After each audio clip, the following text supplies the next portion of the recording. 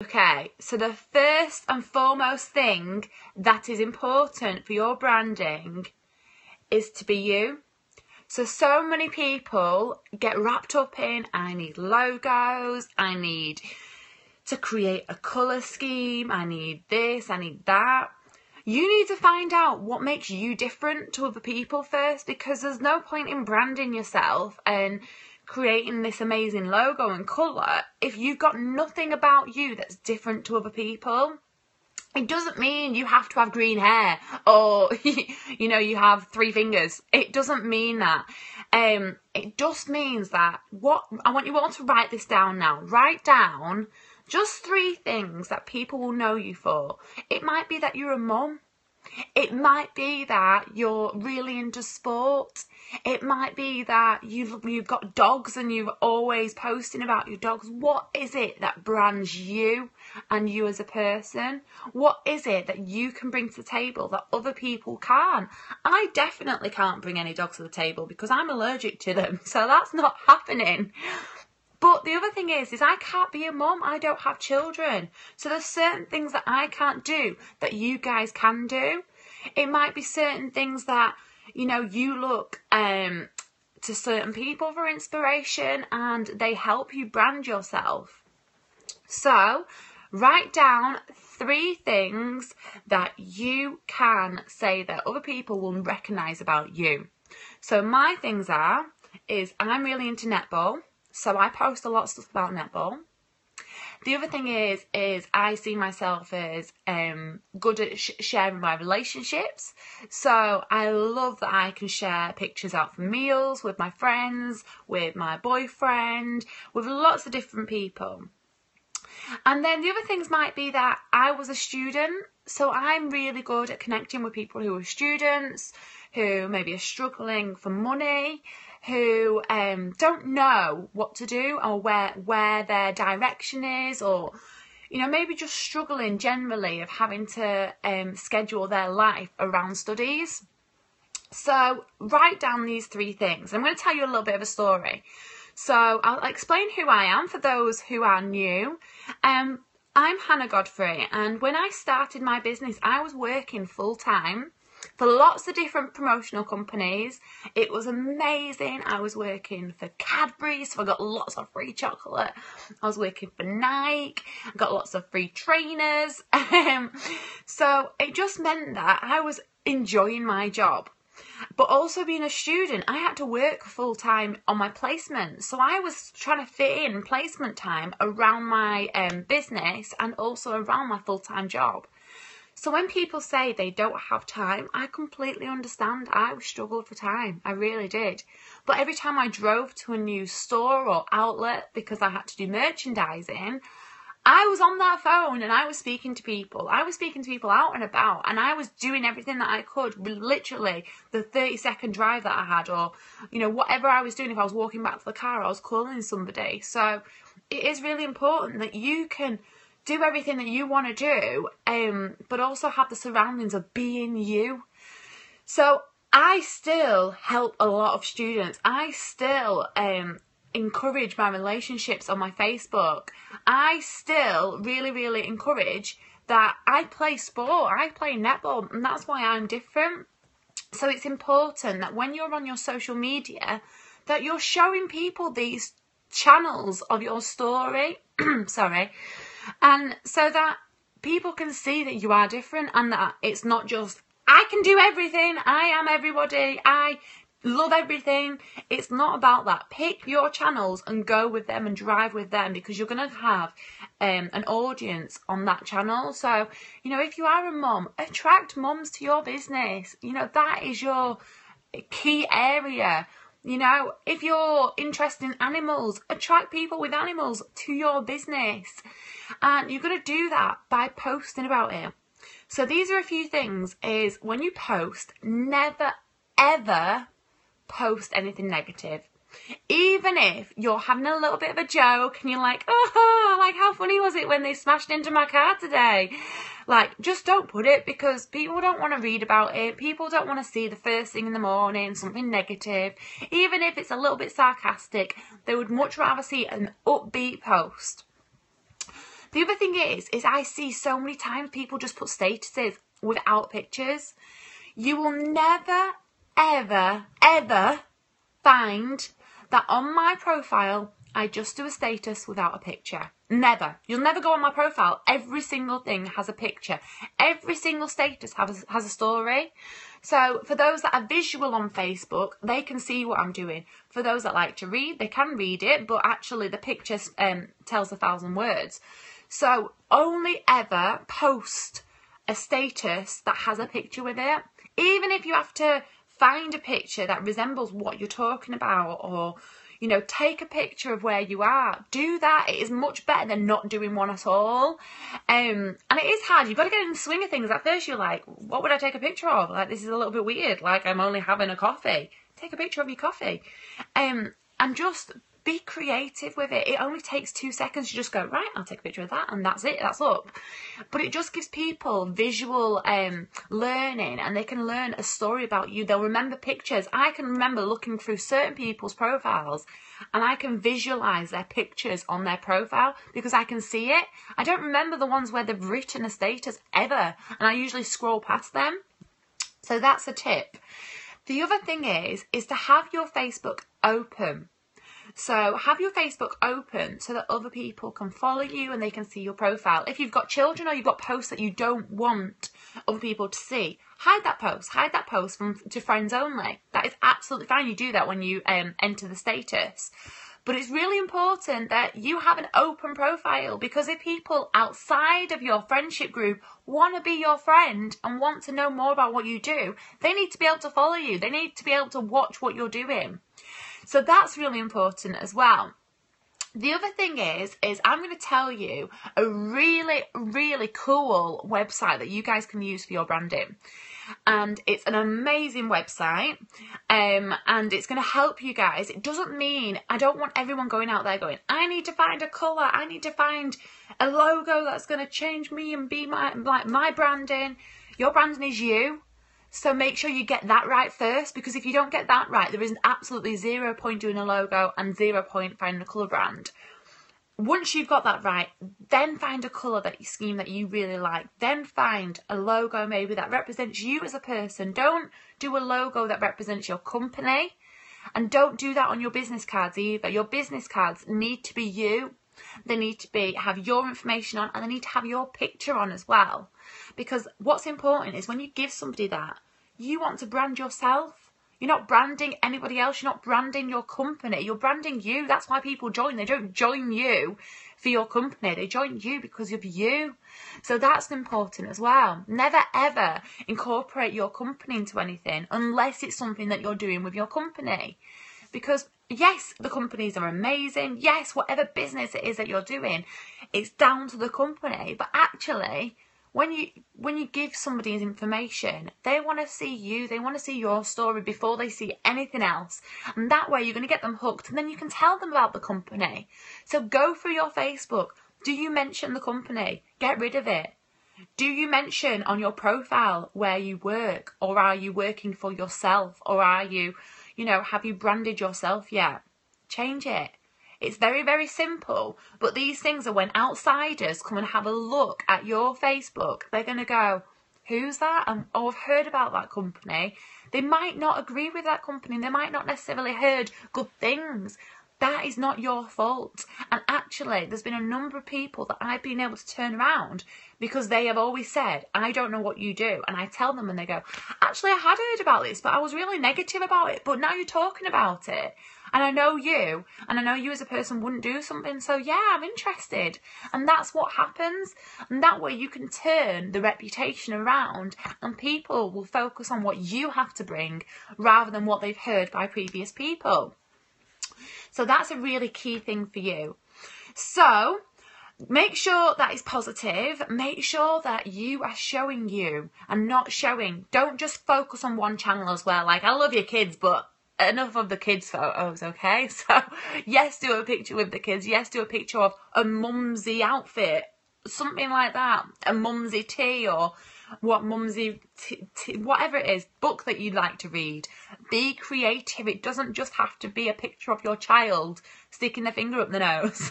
like, be creative with it. Same with your animals. Like, your animal, your profile picture needs to be a photograph of you. That is it. It doesn't need to be a picture of you and your dog. It doesn't need to be a picture of you and your boyfriend. It needs to be a picture of you because people want to focus on you. They wanted to see you and your boyfriend. They'd add your boyfriend on Facebook too. So it's important that all this goes across all your social medias. The same picture is used on your Instagram, on your Twitter, so that someone can go, I'm going to follow her on Twitter as well. It's really quick for them to do it because it's the same profile picture. And it's creating that same sort of brand all the way through. And that is how simple branding can be. It doesn't have to be this expensive thing. It doesn't have to be this huge thing that, you know, you're going to have to go out there and find someone to build you um, a logo and things like that. It doesn't have to be like that. It's just really simple twists and just changing the simple things are going to help build you. So, one website I want you all guys to get on. It's incredible. Um, and it's going to really, really help build your businesses. And it's called Hootsuite. Now, Hootsuite is a social media platform. So what I found was, is I don't have time to be posting, but actually it's really important for me and my branding that people know my story every single day. They know where to find me, but it's the same across all my social medias. Well, I was finding that once you post on one, then you've got to go to the other, and then you've got to go to the other, and all you forgot, and it just became a bit of a nightmare. So every single Sunday evening, I set up on Hootsuite. It's free as well, which is amazing. You can upgrade, but I choose the free one. And you can pick three social media platforms. So whether it's Instagram, LinkedIn, Twitter, whatever it is, you can go on there and you can set up and schedule your post for the full week from morning till night. And it also schedules it for the time that it's it, most people are on Facebook, so you can schedule it so that it's when it's optimum time.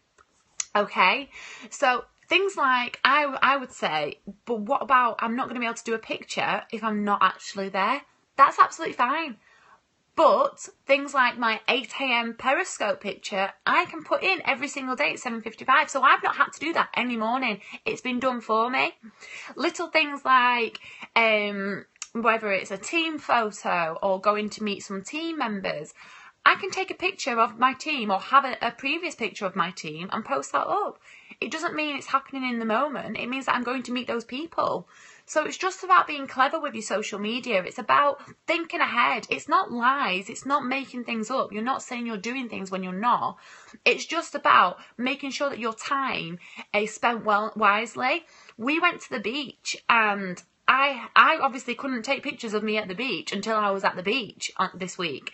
So I obviously things like that I had to wait until I got there and I uploaded those pictures when I was there. But it's important that you have a structure around your days that you can pop these pictures on so that they're ready to go, they're done for you. And you can say, look, I've already posted three times and I've not actually posted. Hootsuite's posted for me. So actually I can post today something else that I'm doing or somewhere that I am today and let people see my story. So that is an amazing, amazing app. And if you love that little tip, give me lots of loves. Um, and because it's Fun Filled Friday, I'm going to give you um, a couple of minutes to ask any questions about business that you would like to ask me. And I'm going to do my best to answer them. So get writing them out below. And what I want you to do is just ask any question that you feel that you would need help on. And I'm going to give you a quick five minutes of my time and I'm going to help you. Hannah, I've tried looking for your business page, but can only find your personal page. It's called Real Hannah Godfrey. And you can also, if you find my personal page, you just click in where it says about. And in my, um, it says where I work, it says I work at my business page. So just click there and it will take you to my business page. Um, so if you've got any questions, feel free to ask anything, anything that's niggling away at you about in your business, anything that's stressing you out, anything that you want to help with that I can ask them for you. So, what about if you're a teacher? I can't have my page as open. Create a new page. create a page that people are going to be able to go to create a, a lifestyle that people are going to be able to go to you could um, create something that you know instagram it might be twitter it might be that you push those pages more than you do your facebook page. But it's really really simple. And as a teacher the reasons why you don't open it is because obviously for where you live it might be that you're posting stuff on there that you want your students to see. Um, so just make sure that everything that you post is um, available and you would want people to see. So that's really important too, is that you don't post things that you wouldn't want other people to see, but maybe make up a separate page, like a business page. Do you have time out social time every day from your business? Yeah, so I think it's really important. I don't think that you can run a business without stopping. Um, I think it's really important that you do take time out. Not not necessarily because um, you need a rest or things like that, but actually your brain needs time. I call it fueling time. So today I'll take a walk and that's going to be my fueling time where I refuel my brain so that it gets fresh ideas, it becomes creative, um, it gives me time to rethink things. I think faster after I've been on a walk or done exercise.